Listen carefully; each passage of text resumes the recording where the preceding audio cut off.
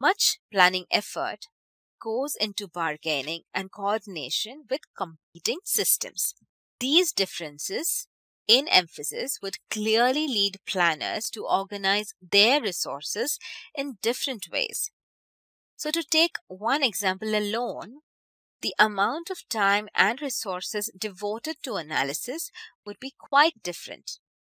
Moreover, the use of planning methods would be quite different. So, in a rational or comprehensive approach, the need for extensive analysis, alternative strategies, formal decision based on plans, and formal evaluation will call for formal application of relatively complex methods. Okay, so incremental planning, on the other hand, would be less likely to involve complex methods in analysis and strategy making, although there might be more use of formal methods of evaluation in the learning element. Okay, methods of coordination and bargaining would be quite important. It seems important here to recall one of the central assumptions underlying this, pl this planning framework. Okay, the choice of, evalu uh, of evolution of a planning approach depends on the system and the environment. There is no single best way to plan. Instead, the planning approach should be consciously devised to fit with a particular situation at a particular time.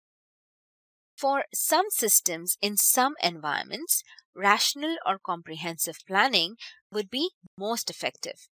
In other situations, incremental, transactive, or radical planning would be more appropriate. Okay. So we'll move on to the next communication strategy, which is planning to learn. Okay. So, planning to learn is the conscious effort to get and use information about the effectiveness of the adaptation of the planning system to the system and about the adaptation of the system to the environment in order to improve both planning and system adaptation. Now, this is the third level of planning.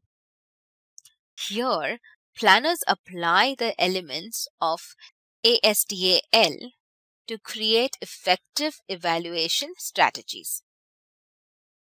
There are two essential aspects. One is a set of values or attitudes within the system and planning subsystem. The other is more technical. This is the use of a variety of methods and subsystems to gather information and to process it for use in decision making. Okay, so if you look at the value aspect, that is critically important. Okay, the most sophisticated and effective evaluation methods and systems possible will have little impact if planners and decision makers are not willing to learn and change. So one of the unfortunate values which seems to be associated with planning is a certain level of arrogance linked with defensiveness. Okay, it is not the plan that is wrong in some respects, but the planners themselves. Okay, when this attitude prevails, planners are understandably reluctant to learn openly. So while recognizing the limits of planners, we must also recognize the complexity of systems and environments and the weakness of many of the theories on which our plans rest. Having made this recognition, the importance of learning from experience becomes obvious. Planners and decision makers as well need to be encouraged to learn even if this means admitting mistakes. Okay, so only when this attitude prevails will learning be maximized and the improvement in plans and planning take place. Okay, now we looked at the value aspect. So if we look at the technical aspect, okay, it is important as well. Okay, there are two elements to be considered here. One is the structure that planners develop to guide their efforts to learn, and the other consists in evaluation methods. Okay, if we look at structure, planners often speak of summative and formative evaluation. Right? So these terms distinguish between two purposes of evaluation and learning. The first that is summative evaluation, is intended to aid decisions on the overall effectiveness of a particular planned action, or in our terms, a particular adaptation strategy. Is it good or bad? The second formative evaluation is concerned with more or less continuous learning for the purpose of improving a strategy or a planning process as it is being developed and carried out.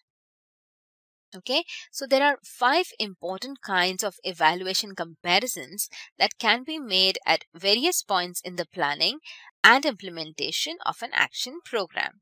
Okay, each involves a judgment, usually based on data, about the fit between key stages in planning and acting. The evaluations that come earlier in the process tend to have formative purposes. Need evaluation compares a need in the environment with the goals that are established to reflect that need.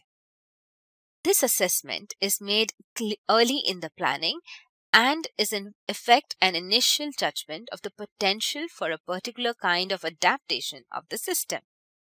So, is the need sufficiently important so that if we achieve the goal, our output into the environment will be judged important enough to get resources for our system.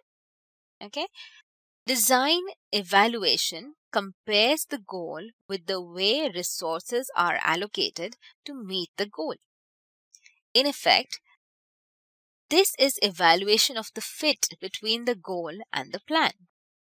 In addition, it includes evaluation of the planning process, leading to the kind of learning about the planning approach which helps planners modify the way they plan. Okay?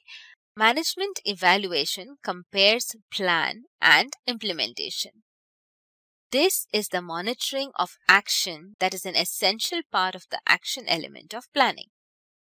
The comparison is between the plan and immediate outputs. In a communication plan, outputs might include such things as the number of radio programs, the number of telephones installed, or the number of farmers enrolled in discussion classes. Okay, you remember all of those instances, right? Okay, so outputs are related to effects in performance evaluation. With this kind of evaluation, we begin to ask questions about um, changes that outputs are making. So, are people learning from radio programs or discussion classes? Are they using telephones? So, these kind of changes are often called effects. With this type of evaluation, summative kinds of judgments begin to be made. Okay, the final type of evaluation is impact evaluation. Okay, so with this mechanism, we seek to find out what differences effects are making in comparison with the original need. Is learning leading to be more effective participation in development programs and to higher productivity on farms? Is the use of telephones improving healthcare delivery or the sense of solidarity between people in the country and in the city? So, this is the ultimate kind of judgment about the value of the planned action. In sum, about the adaptation strategy. This is where evaluation with summative purposes most often takes place. Note that by the time impact evaluation is carried out, considerable time has passed. The need at the beginning may have changed, especially in complex environments. There are many evaluation methods over here. Okay, some of these such as survey research, can be used for practically any type of evaluation. Others are more specialized. Management information systems are used to monitor action. Okay. Field experiments are used to pilot test strategies. Okay.